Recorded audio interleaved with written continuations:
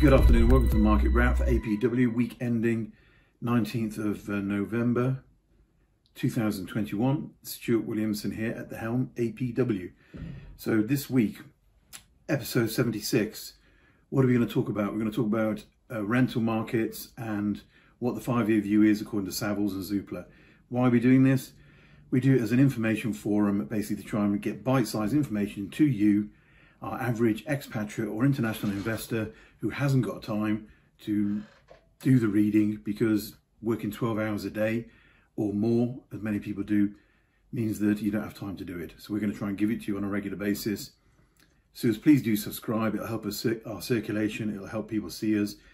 This year, this last week, we've got 42 likes so far, which is great. Thank you. And another 15 subscribers. So carry on if you can, please. Okay, so Savills 2021 residential forecast for the next five years. They say it looks like a soft landing. Price growth will continue next year, but much lower than we've seen of late. Why is that? Because the current burst of inflation, 4.2% as of yesterday, they were talking about it in the UK, will bring interest rates up and put the brakes on. Okay, we accept that. We've, you know, we discussed that last week. Okay, but why won't that lead to a crash? Because number one, interest rates are incredibly low. Average rate for a five-year fixed rate mortgage, 75% loan to value is 1.29% in the UK, not as an expat. Offshore, you know, we're looking at probably 1% plus on top of that. For buyers with more equity, lenders are falling over each other to offer five-year rates well below 1%. Fantastic. Secondly, vast majority of mortgaged homeowners are protected from rising rates because they're on a fix. 93% uh, mortgage mortgage borrowers have locked into low fixed rates and a major proportion of those is five years or more. Unemployment looks to have been contained. You know, the furlough finished last week. And basically we have 1.2% of all mortgages in the UK on the outstanding loan book. Now I do think, you know, employment is it is low, unemployment, sorry, is low. Uh, um, but I do think now that furlough's finished, you'll have a lot of employers who will be looking at their staff as they come back and go, you know, we've gotten pretty well without them. Do we really need them? Which is obviously sad, but you know, it's free market economy and that may well happen. So I think I think unemployment will go up a little bit.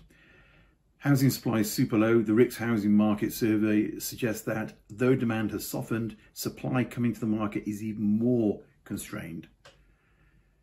That means undersupply will continue to characterise the market going into 2022. TwentyCi data suggests uh, supports that in a three months September 2021, the level of new stock on the market was 12% below that seen in more, no, more normal market conditions of 2017 to 19. Meanwhile, the number of agreed sales is 26% higher. Okay, so I will say based on this capacity for price growth is sensitive to the speed and scale of interest rate rises. So price growth is is sensitive and it, it won't be great if interest rates go up heaps. But what Savills are saying with their um, their anticipated returns over the next five years, they see interest rates rising twice in 2022, ending at 1.5% at the end of 2026.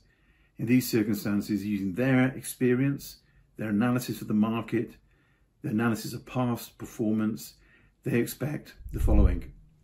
And this is the money shot. Average UK house prices to rise by 13.1% over the next five years.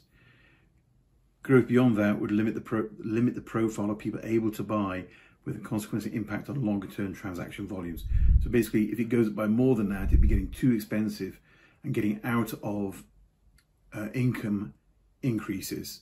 So you can have a, a, stalling like we've seen in London. And London has stalled because it's got too expensive. They believe it will not be uniform growth though with the strongest across the markets of Wales, Scotland and the north of England. Northwest, Yorkshire, Humber, Wales and North East should rise at about 18%, East Midlands, West Midlands, Scotland about 16%, and the Southwest at 13, South East at 10 and London at 5%. They also believe the North-South dividing house prices is going to close further over the next five years with natural progression as it's occurring, but also because the government's levelling up agenda will push people. I mean, I heard this week that, excuse me, that um, the BBC had 59% of all its corporate spend was in London, and they've been informed that they should reduce that to 25%. So consequently, they're opening up in Birmingham, they're opening up in quite a few places across the north. So that's the difference between the two. Basically, you've got leveling up, so you're going to get the house prices coming up to match where we are with um, they are in London compared to the rest of the, the rest of the world. The price growth looks poor in the London market, which has become increasingly confined to more affluent households. This reflects the extent to which London prices became dislocated from the rest of the UK housing market from 2005 to 2016. In addition, housing supply in London remains way below actual needs. What are the, now, what are the views on the rental market? Beyond the rent rebound that's going on at the moment, they expect rents to resume their long-term correlation with income growth. That means they expect UK rents to rise by 19.9% over the next five years. That's a, a great figure as a buy-to-let investor, if we're going to go up by 20% in rent over the next five years, that's going to way jump past interest rate increases. So that's keeping us in properties washing their face zone. In London, we expect rental growth, they say, in 2022 to, to regain the lost ground it's had since 2020, boosting the five-year outlook. Therefore, we expect rents to be 22% higher in London by the end of 2026. So what does Zoopla say about this? So let's cross-reference it with other you know, research people. Gráinne Gilmore, who's the head of research there, says the stru structural undersupply of rental property across the UK amid high levels of demand will underpin rental growth 2022 and forward. Their key point, key takeaways from it are strong rental demand in Q3 will push up to the highest level of rental growth for 13 years. UK rents are rising at 4.6% per annum, amid, doubling, amid, amid demand doubling in the, in the major city centres. London rental growth is swinging back after 16 months of falls, which is what Savills said. Rental demand remain high, higher than supply, and the availability of properties to let is 43% below a, a five-year average. Even with rental growth, affordability of rents across the UK will remain in line with the five-year average at 37% of income.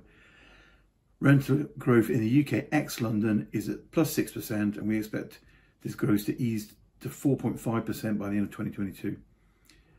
So basically you've got a fantastic cocktail there of limited supply, lowish interest rates and rising rents, which is going to help the market go up. So we're looking at potentially you know, across the UK 13%, but in the markets we're looking at a lot, uh, around the 18%, 16% mark, which is fantastic for buyers now and also fantastic for rental.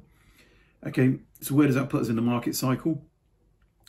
It should probably put us at the start of the recession phase. That's where we should be, but the figures seem to argue with that. So really, what do you do? You know, and uh, I speak to a, a, chap during this week, and he said, "I don't. Well, I'll do some more analysis and this and that." And you've got some more questions. And um, so, what do you do? Analysis by paralysis wait to buy at the right time or buy property now and wait for it to go up. And that's our own view. Okay, so that's the, basically look at the research that's going on in the marketplace. Now, a while back I was in Nigeria and I was talking to some clients there about property and I drove past a house on the way to um, do this meeting and it said house not for sale. And I got to the meeting and we had a good old laugh about it. House not for sale. How stupid is that? You know, because apparently people used to sell houses behind people's backs when they were out of the country. Well, that is now happening in the UK. In August, a man from Luton returned from working away to discover his house had been sold without his consent and all his furniture had disappeared. He arrived home following a call from a concerned neighbours saying that someone was in his house. When he was met with a new, where he was met with the new owner of his property, also a victim of the scam. A criminal gang has stolen the true owner's identity and had made off with the profits of the sale. Now, apparently 99% of homeowners are at risk of having this occur to them in the UK because criminal gangs are going to the land registry and stealing people's stealing people's uh, title deeds. It's called title deed fraud. Unless you put um, a special alert on this, and there's a free service. Homeowners can register up to 10 properties at the Land Registry's Property Alert Service and it doesn't cost anything. So do that because otherwise at expats, you might go home and find you haven't got a house there. There we go. That is the market report, the market wrap for 19th of November 2021. Please do subscribe and like if you can. I look forward to speaking to you next week. Bye bye.